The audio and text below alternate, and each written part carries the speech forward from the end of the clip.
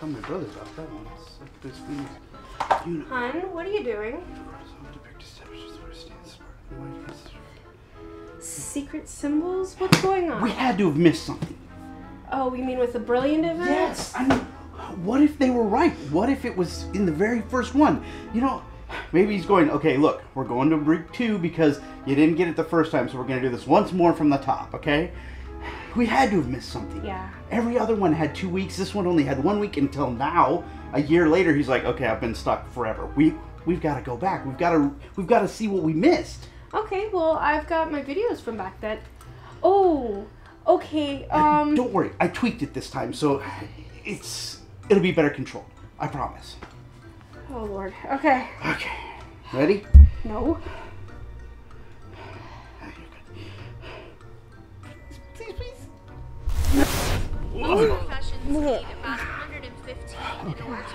Their it. It- need over Sorry, I'm just not used to that So sensation. very Yeah, for us okay. to be able to get because I hear somebody talking about the brilliant you can event, I think. Is There that what I sound like? that I'm Yeah. I- my green tones for. Oh, Come okay. on. First one is the ability to, to make my free spell that heals members of my party a little bit more effective. Currently, they're very much, oh, do you need a band aid? But soon I'm going to be able to make them, you are healed! And I'm looking forward to that.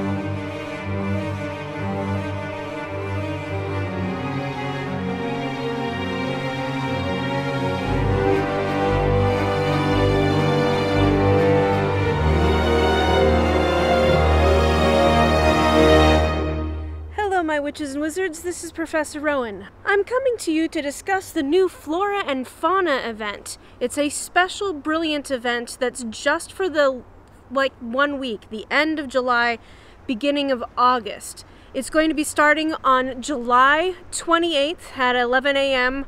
our local time. By the way, that's Tuesday, and it'll be running through August 4th, also at 11 a.m. local time. Now, if you haven't been notified yet, the um, Wizarding Weekend is being extended by 12 hours, so it's going to go until 11 p.m. on Monday. So this brilliant event starts 12 hours after that. Now, this is a special brilliant event. It's not going to be the main brilliant event for August, and it's just one week, but it's Flora and Fauna Week 2 because if you weren't with us for the very first brilliant event, Flora and Fauna, a year ago now, this will be your opportunity to get those foundables as well as complete that story. So, first off, for the usuals that you're used to by now, there will be energy on the map. We are going to be having five energy available from all the energy on the map. There is also going to be 1.5k port keys that you can walk if you don't do the brilliant um, bonus challenge. There will be a free store pack, including enough ingredients to brew your own tonic for trace detection, one hermit crab shell. Yes, I said that in the right order this time. And 25 spell energy. There's also going to be a lot of boosted foundables on the map. A lot of them. Let me read off to you a list of them and see if you can catch the pattern before I tell it to you. The following foundables will appear more often the magic most evil, or evil, depending on how it's pronounced with that spelling. The monstrous book of monsters, the portrait of Godric Gryffindor, Cedric Diggory, the Whomping Willow, Weasley Fireworks, the Sneasel, I'm not quite sure how you pronounce that cat's name, the cat, Seamus Finnigan, Professor Flitwick, Luna Lovegood, and Mad Eye Moody's Eye. Do you know what the things they all have in common? They are all held by fire confoundables, or in the case of several of them, fire breathing chicken confoundables. Like we need more of those. Oi. But those aren't the only foundables you're going to be collecting. There are also the Brilliant only foundables. Now, the Brilliant foundables for this week are are the ones I'm going to go over. However, I do want to point something else out as well. If you weren't available for the first Brilliant event, the first week of Flora and Fauna, the Brilliant Unicorn and Brilliant Buckbeak will also now be available on the map. If you have not done that, all of the other items that were also only available via that brilliant event, the ones that would have come from port keys or um, through finishing your tasks, those foundables will also be dropped when you collect the unicorn and buckbeak. If you need to know more about those particular foundables, I guess you could watch my video on it, but please be gentle with me. That was one of my first videos, and it was the very first Brilliant Event video I had ever done. So I didn't have any idea what I was doing. Mea culpa. Now, before we get into the registry images for the new page of this Brilliant Event, may let me speak one thing very clearly. Do not place any of these do not place them, no matter how tempting it may be. Do not place them until Quest 4. So, for this brilliant event, the brilliant Week 2 Flora and Fauna, the one you will find in the wild is Newt Scamander. There is the only one for this event that you will find in the wild.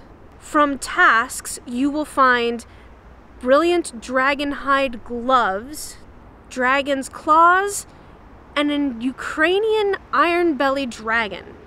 Now, the port keys, the 1.5k port keys, or finishing the bonus assignment, will give you a fire seed bush, which, considering our current fire threat rating in Oregon, I would not suggest you just, you know, leaving out. Also, the Brilliant Events runestones will give you the Brilliant Fire Crab, another creature that I strongly suggest not releasing in our forests right now. And now on to the quests. These quests are actually a little fun in my opinion, and I don't think the first ones are going to be very hard at all. Quest 1 has you brewing one tonic for trace detection. So start that tonic in your cauldron the night before. That one tonic for trace detection will reward you with one armadillo bile. Collect things off of the map two times, whether they be ingredients or spell energy or port keys. That will reward you with one wormwood. Return five foundables that are guarded by the dreaded fire breathing chicken. That will gift you one invigoration drought.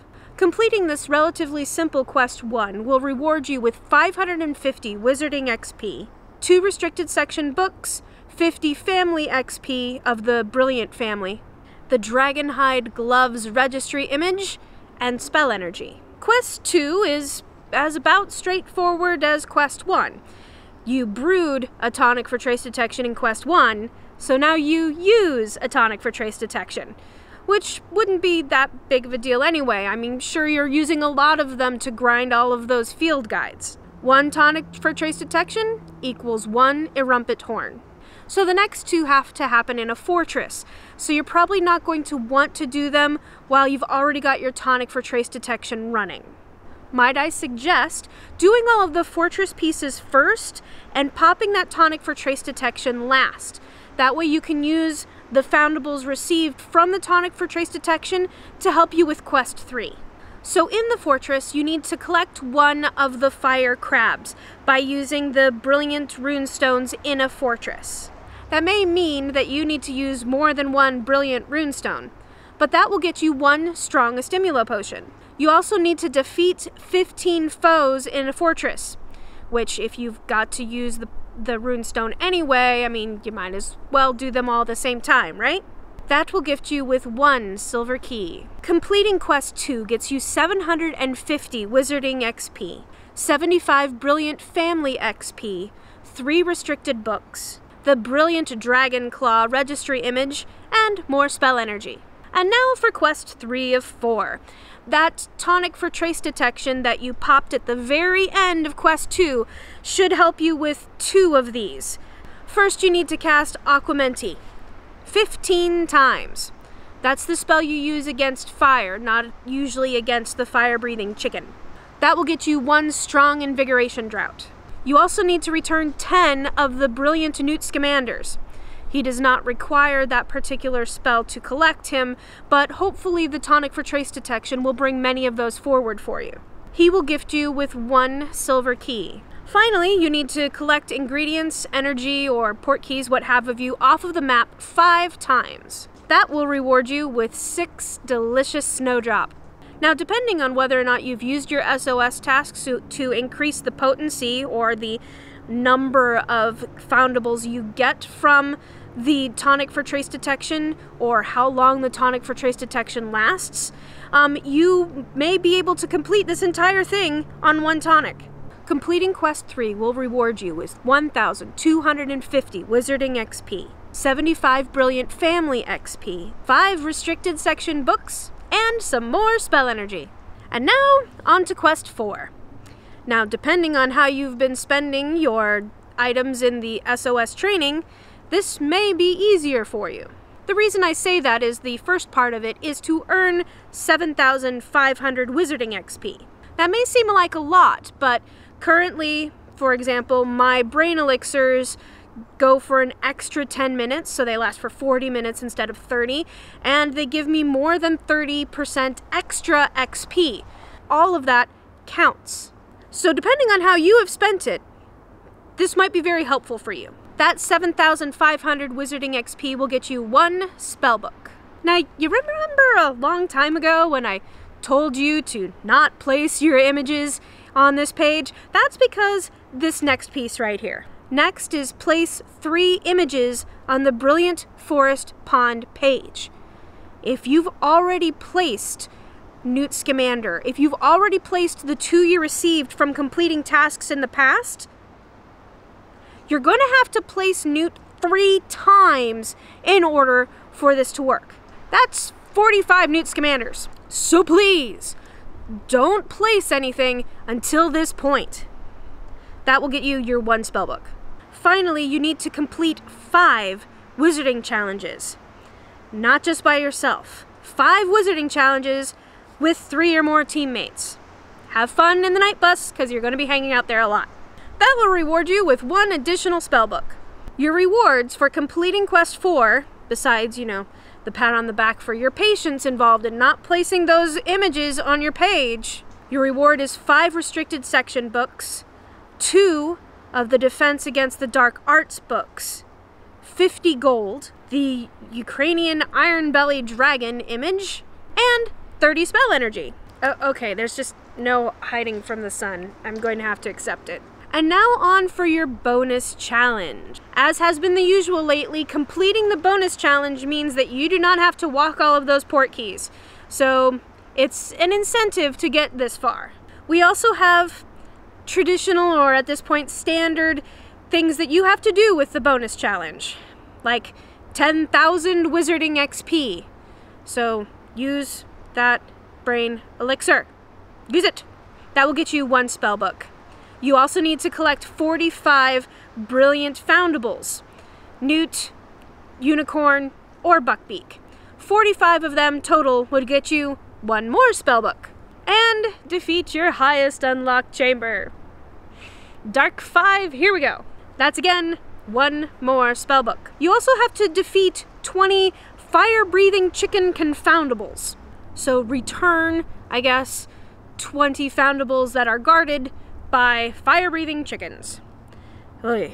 That will get you one wit sharpening potion. Last but not least is to cast Aquamenti 20 times. That will get you one Dawdle Draught. And may I point out that if you have to cast Aquamenti more than once for a Foundable, those count. So if you have to cast it two or three times, hey, that's three down for your cast it 20 times. Your reward for completing the bonus challenge 2,000 Wizarding XP, 100 Brilliant Family XP, which means at least two treasure chests, a achievement badge, the Fire Plant Seeds, five of those that you need, 30 spell energy, and three of those rare Defense Against the Dark Arts tomes. But now for the tips and tricks on how to get through this. I reiterate one more time do not place the images! Also, don't expect there to be any SOS manuals when you um, place those images because they're on a Brilliant page, and we've been under the impression that you're not going to be getting SOS manuals from Brilliant events. You get the Dark Arts manuals instead as reward for, you know, completing stuff. Use your potions liberally. Your Brain Elixir, your Tonic for Trace Detection. They give you a couple of the Stimula potions. You're probably going to want to use them at some point. There's nothing that says you have to go for the high or higher foundables, which is nice, but many of those fire breathing chickens and fire in general items are high or higher. Also, for some reason, I've been getting a lot of thing um, foundables, and I, I've heard that other people have been having this problem too. That a foundable is showing as, say, severe when it's not, because uh, Ginny Weasley is not a severe foundable at all. So you may end up having to use more of the stimula potions than you would like. Don't be afraid to brew them. In fact, I strongly encourage it. You've got a bunch of brilliant rune stones that you're going to need to use in order to get all of those fire crabs that you need, and you've got to go into fortresses a lot in order to complete the pieces that you need to do, like going into a fortress uh, five times with three other people. So use them at the same time. Also, again, if you weren't able to be with us for the first week of this brilliant event way back in the day, um, as long as you are going for the unicorns and the buckbeaks, they will also give you the other foundables you will need until you have all of those fragments. Once you have everything you need for those, it won't give them to you again. At that point, you will just get the unicorn and buckbeak. If you find these videos helpful, please like, subscribe, share. It really does help us out. Also, thank you so much to our patrons. You make things like this possible, and I really, really do appreciate it. If you have any thoughts on what you would like to be doing during this special Brilliant event, or any ideas as to what the Brilliant event for August might end up being, please put it in the comments below. And remember, my witches and wizards and non binary magic users, to stay safe. So keep your eyes peeled, your ears open, and your wands ready. Okay. we did get. Oh, uh, hot dog? When did I have hot dog? Ugh, vintage.